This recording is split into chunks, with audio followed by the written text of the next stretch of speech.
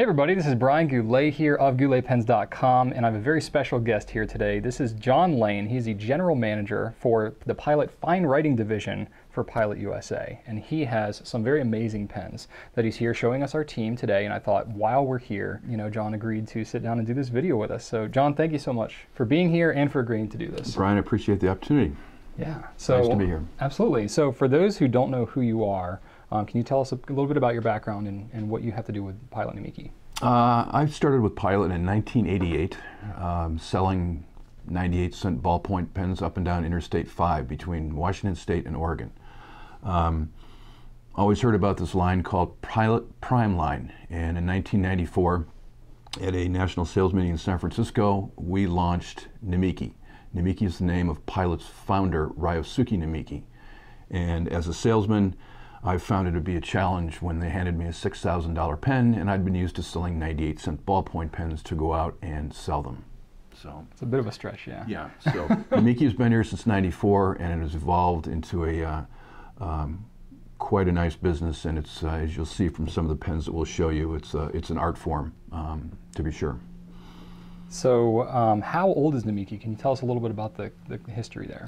Pilot started in 1918 um, and we started making um, fine pens in the mid 40s when Mr. Namiki uh, asked Alfred Dunhill to help him out, and they started combining the things.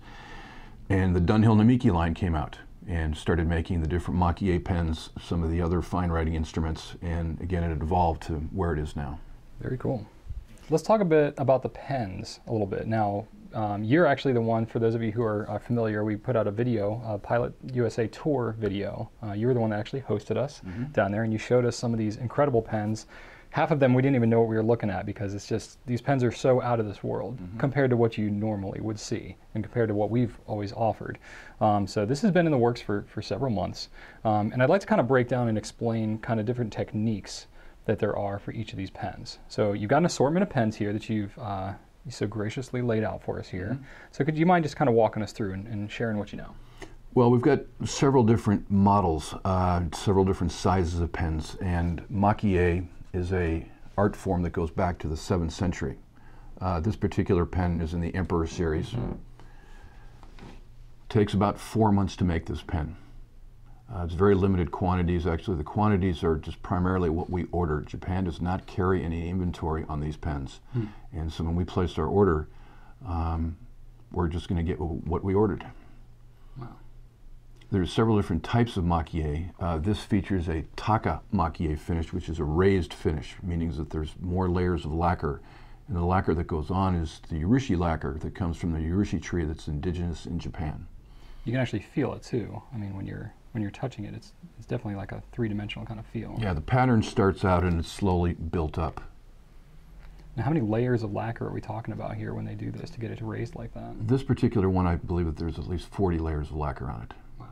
And it takes four months to make. A lot of it is the drying time. When the artist starts out, might start out making, starting with a dozen, and by the time he gets from one to 12, number one is dry, and he can apply another layer of lacquer and another layer of pigments. And this is a huge pen too. I mean, I have very large hands, so maybe it doesn't look quite as alarmingly large when I'm holding it.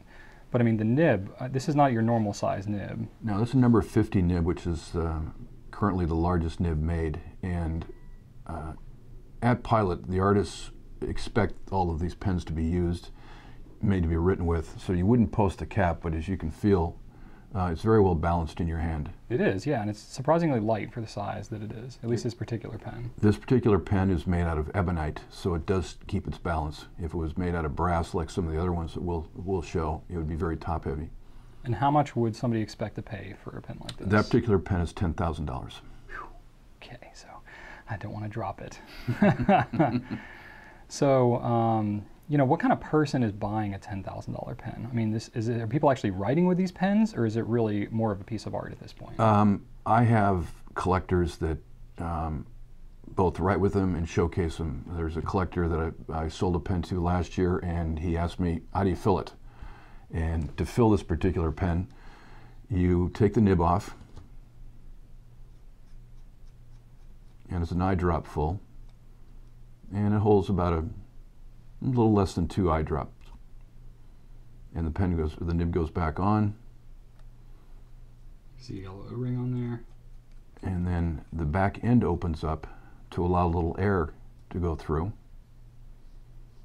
And then when you're through writing with it, if you want to clean it out, you pull that out, and you can flush the, the ink system.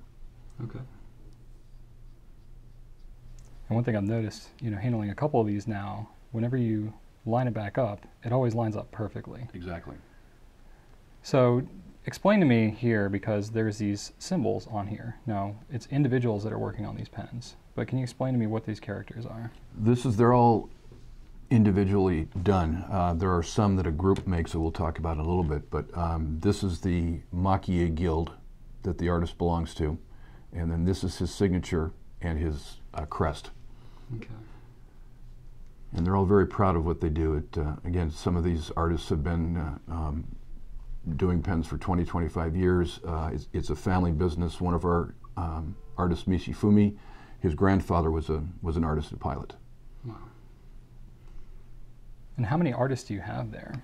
I mean, is it like a whole, f- you know, Currently, we have four maki-e artists, but then there's also uh, independent artists that come in and propose different designs to pilot. Um, and then they go before a committee and it's decided whether or not they'll take them, Okay. whether it'll be a in-stock model or whether it'll be one of our limited editions that uh, we do every year. okay, but it's not a, I mean, this is a pretty exclusive group that we're talking about here. is. It is. Uh, let's talk about the some of the other models we have. Um, the next one here is a Yukari Royale uh, that's a little bit smaller. This does have a brass barrel. This one is uh, called the Parrot and the Peach and features a little bit smaller nib. This particular pen retails for 6500 And what we try to do, Brian, is we, we try to rotate these out of the collection every three years. The patterns are retired and we bring new ones in. Wow. Now, how many of these pens might they make? It's primarily what we order because, as I said, we don't carry any inventory. Um, so it's whatever Europe orders, whatever Singapore orders, and whatever uh, is ordered in the domestic market, which, which is Japan. And then, of course, what we order. Um, usually we get probably 10 or 12 of a model when it comes in, and then we reorder depending on how sales are. Fortunately, we don't have a lot of bad ones. Uh, have a lot of designs that aren't really sought after, so it's it's still a very popular market. What are some of the most popular designs that have come out over the years? Like, what tends to be Our, most desired? our first limited edition was a Yukari size, which we'll get we'll get to in a little bit. Uh, that was the White Tiger of Asia. Um, that's very popular. Uh, the uh, the Great White Shark was an emperor size. That was very popular. Um, the 90th anniversary pen, excuse me, that was very popular. So it just it just depends on what the design is. Some aren't so aren't so popular, but we've had a good run with these. So, who comes up with these designs? I mean, do you have any input into it, or is it? Uh, No, these are strictly done by Japan. Uh, the product planning group there um, takes um, takes some time, depending on whether it's going to be a limited edition or whether it's going to be a, uh, an addition to the line. Uh, so they're primarily responsible for that. okay, and I imagine the artists weigh in quite a bit on this too. Cause They do. If you're going to be working on a pen for four months, Right. You want to make sure you're looking at something that you. And they want to make sure that they're able to. to do it as well. Uh, Mm. Some of the designs are very difficult to do. Um, the Emperor Goldfish, which is which is in the line, which I don't have here with me, is very difficult. That's why it's fifteen thousand dollars. Wow. This is the Chrysanthemum Dew. I mean, these look amazingly intricate. And again, it's got the artist signatures there. I see that. And it's inlaid with raden or abalone. Hmm. And these are filled with a uh, piston converter. Oh, I didn't know that. And this one feels a bit heavier too. That's a brass barrel. Okay. So most of these are going to be brass, except for the largest Correct. one. Yes. Okay. Okay, there we go.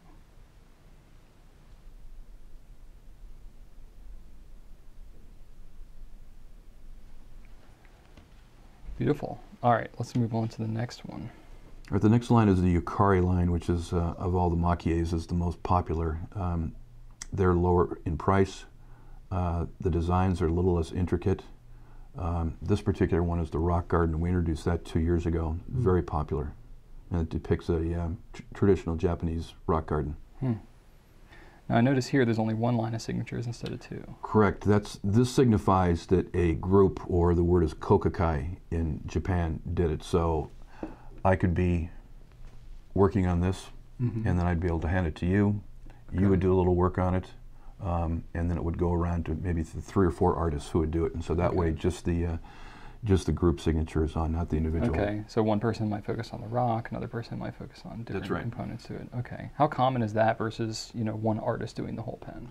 Well, they can do more this way because these aren't as intricate a designs. So the Yukaris are, are less are less expensive. This is fourteen hundred dollars again versus ten thousand dollars, and so we need to make more of these um, to make up for the collectors. I see. And then this one's got kind of a mixture. It's Yes, got- that's the herb little- decoration. Okay. And the nice thing about these pens, when they have the the, the raden in them, uh, there's no two pens that are alike. Hmm. They may have the same pattern, but with different different shells and different color shells that go in. Wow. Beautiful. Beautiful. All right, what's next here? And the, the last uh, design in the, in the is the Nippon Art. Um, these usually go for around $750, and these designs are very simple to, um, to do. In fact, I brought a set of tools, and Brian will personally be doing one when this uh, video is over with. Oh, yes, We'll, we'll put that on next week so, so you'll be able to see.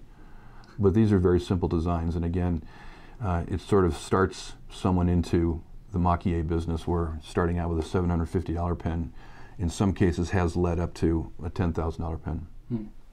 I imagine once you get into, you know, the maki-e collection, Right. you kind of fall in Yeah. deep down the rabbit hole.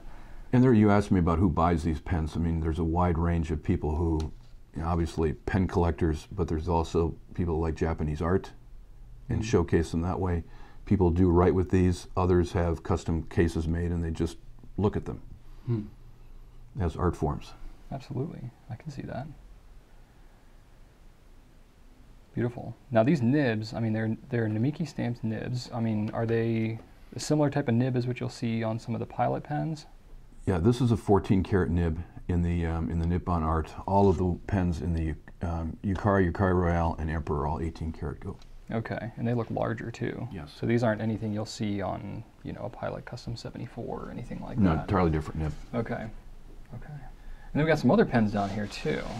So let's talk through these. Now these ones, uh, our viewers here might be a little more familiar with these because we've been stocking these regularly since they came out. Right.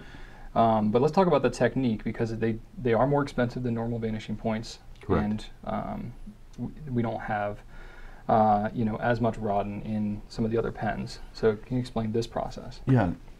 Most of your viewers are going to know that the the Pilot capless or Pilot vanishing point is one of the most functional fountain pens around. And so when we make a pen that has raden in it, we have a lot of dust left over when they're chiseled out. And so one of the artists decided to do this. Uh, we came up with this about seven years ago, this particular uh, model. And again, every one is going to be different. Uh, when this goes on, you can see that it's actually looks like gray dust and as the lacquer hits it it brings out the color so this is sold very well. So we decided and it retails for 360 so we decided to do a little bit more intri- intricate work. Mm-hmm. where we've got the water surface and the stripe. And these retail for 800 now this gives you the most functional fountain pen the capless and a little bit of maki-e and it's still reasonably affordable. Right. And what's the difference? I mean, hopefully it's coming across well, but the difference between, say, you know, 360 and 800 dollars, it's the time involved. It's right? the time involved, and there's there's just a lot more work in here. Mm-hmm. It's the same coat, coating of lacquer, Urushi lacquer as these do, but mm-hmm. there's just a lot more work because the artist will have the rod and dust in a tube that he'll tap down, but this actually has to be laid in the pen and lacquered over. Absolutely. And you can see, if you look close up on this pen, you can see every single little piece of abalone that's placed in there. Right. And that's all got to be done by hand. Yes. Wow. And how many coats of lacquer would there be on these pens? Uh, about 15. Okay. So not quite as time consuming as Correct. some of the other ones, which so you can start to see kind of basically it all comes down to time Yeah, yeah. involved. Now let's talk about this next one because this is really one that I've kind of been taken with. And you showed us a video on this um, and provide us with a video which we'll which we'll do some stuff with um, on the chinkin technique. This particular technique, as Brian said, is chinkin, which it's all carved into the pen and then filled in with gold dust and lacquered over. Uh, there's a series of um, chisels, knives that the artist used to cut out every pattern in here. And if, to fully appreciate this, you'll see when, when Brian gets the video up. Um, it's just an amazing technique. I've been fortunate enough to see it several times, and it's uh, it's absolutely beautiful. It is, and and literally like every single little dot in here has been carved out by hand. Yeah, And that must that must take an incredible amount of time. It's still a four-month process, um, but if the artist does make a mistake, there's nothing that they can do. The pen has to be um, discarded, whereas a maki-e pen, you can somewhat strip the finish down and, and not start over, but you can at least correct a mistake. But quite honestly, I haven't seen a lot of mistakes with these guys. I imagine. I mean, how long are they training before they? It's not like, hey, yeah, we're put an ad on Craigslist for a Well, chinkin artist. you Tradition, know? there there are maki-e schools there, but it's again it's sort of a um, an art form that's that's handed down. Um, a lot of the maki-e artists do not do chinkin, but our master artist Seikei Chida um, does a little bit of both. Okay. But it's an entirely different process. Other than the lacquer going on, they use a brush and bamboo tubes to apply the different surfaces here. But here, again, it's all carved. And again, once you see the, um, the the video that Brian will put up, it's it's quite impressive. yeah. This particular pen, the Cherry Blossoms, retails for $1,300. And the Cat, which has gone over very well here with Brian's staff, retails for 3700 And some of these pens, you know, I know we got one more to cover here, but some of these pens are huge. Why are they so big? On the Emperors, you can see that the design is pretty intricate, so they need some more room. Right. And also, there is definitely a call for a larger pen. We offer this pen um, without any designs on it. It's a $2,000. Men, some women just like a large pen to write with. Um, my favorite size is the Yukari Royale because I have a little bit bigger hand, and the design, as you can see, isn't as intricate. Right. So it's really kind of like a canvas Mm-hmm. for the artist. Well, as I said, some people who buy them are just like Japanese art. They really could care less about the pen. Interesting. Yeah. It's got to be difficult because, I mean, when you're working at art and looking at that Chinkin video, some of the work is done on flat work, you know, boxes and things like that. How much more complicated is it for them to do this work on a round object, like a pen? It's more so, uh, but these guys are just they're they're artists. There's no other way. They're not pen makers. They're artists. Right. Um, and they're very dedicated to their craft. As I said, it's a family business. A lot of uh, like our one of our I may have mentioned Mishifumi. His grandfather was a, was an artist, a pilot. So there's a lot of tradition, uh, and there's a lot of passion about it too. They're very serious about this. Oh, no doubt. So are they working exclusively on pens? I mean, imagine, you know, working for Namiki. They're doing Well, a lot I- of pen work. when I was there last anything October, else? for you golf fans, there was a uh, set of drivers in the museum that had maki-e on it. Wow. Um, started in the 7th century uh, primarily with um, boxes, bowls, dishes, that sort of thing, and it evolved into pens in the, in, in the 40s. Um, we've done some, um, some pen boxes, we've done cufflinks, um, a lot of different things, but now they're focusing primarily just on pens. Okay. So let's talk about this last one here, which kind of stands out a little bit from the rest um, the sterling silvers. We've had a long line of Sterlings when we launched Namiki in '94. The Dragon, which is still in the in the in the mix, was was the most popular, and we've added um, different designs th- throughout the years. Our latest are the the Panda and the Komodo Dragon. That's what I'm holding here. That's available in both a uh, fountain pen and a roller. Um, the, the, Jenny made a face right there since I opened up the name. And what I found here at Goulet is they're just into fountain pens. You try to sell them some ballpoints and roller balls, it's just not going to happen. No, we don't really want to hear anything about it. You saw my reaction when I uncapped the other one. I was like, oh, this is, Uh, I know. I this is know. unacceptable. Oh, just, just Now, now she turned the camera. that. She turned hide the that one. off. Yeah, exactly, exactly. Uh, this is an 18 karat inlaid nib. Again, very well balanced. And these you have to polish up, just like any sterling silver. And, and they do come with a polishing cloth in the box, but yes. Okay, but they'll tarnish, you know, over time. Right. So you got to polish them up a little bit. But I like it. They're they're textured, but they're not like so indented that polishing is really a challenge. Right. And how much do these pens go for? Uh, 598. That's not that bad. Do you want me to mention the rollerball price? No, I won't. No need. No, okay. No one's interested. if you are though, special orders at gouletpens.com. Right. Great. Yeah, that just feels pretty good. I don't know. You may have to leave these here, John. But we have nine different designs in the uh, in the Sterling. Cool. So you obviously have a lot of gorgeous pens, and you handle these things all day long. Um, which tends to be your favorite? I actually brought my favorite um, pen. This is the Nightline Moonlight. Um, the original Nightline that came out in '94 was a little bit different. It emulated a city skyline, whereas it, the buildings were going up and there was gold dust um, to signify the lights. Uh, then they, they changed it a couple of years ago and brought out the Nightline Moonlight, which is more pronounced uh, abalone, raden, and again, it's one of the ones that's individually signed. But this is my this is my personal favorite. It's got an 18 karat gold nib, um, medium point, and again, when you do do a pen like this and you're chipping the abalone out, that's where you get all of this. And so it's it's uh, waste not, want not in Japan. No doubt. Very cool. So you know these these types of luxury products, you know, collector collector grade pens like this, traditionally are sold often in brick and mortar stores. Um, but clearly, Namiki's been having more of a focus on an online presence. They redid their website last year, which looks phenomenal, by the way. I mean, you. 360 photography and everything. Like they really like. I know how much work that is. They really put a lot into that. Yeah. It looks fan- fantastic. So, I just want to give you props on that. I actually had nothing to do with that. That came to us from Japan. Uh, Okay. they wanted all of the divisions to have a, a uniform look. And I remember the first time I saw that, one of the guys had it on his iPad and he was spinning a goldfish around. I'm like, "Ah, I have to have that.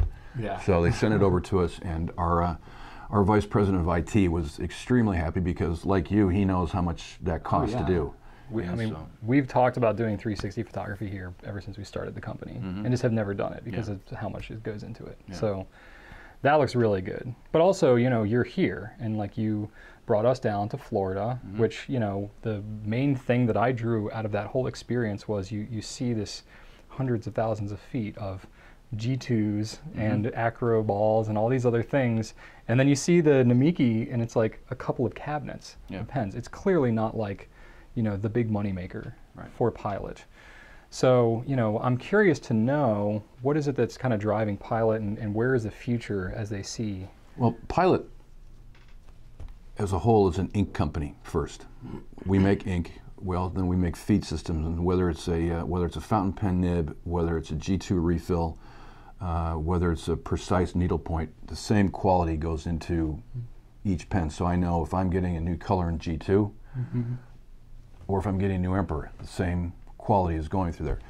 Uh, what we're doing now, I mean, with social media coming on between you know Facebook and Instagram and Twitter, we're getting a lot more exposure now, and we're hopefully going to draw in some some new collectors, some younger collectors, um, and so that's why we're sort of focusing on the online presence now. I see.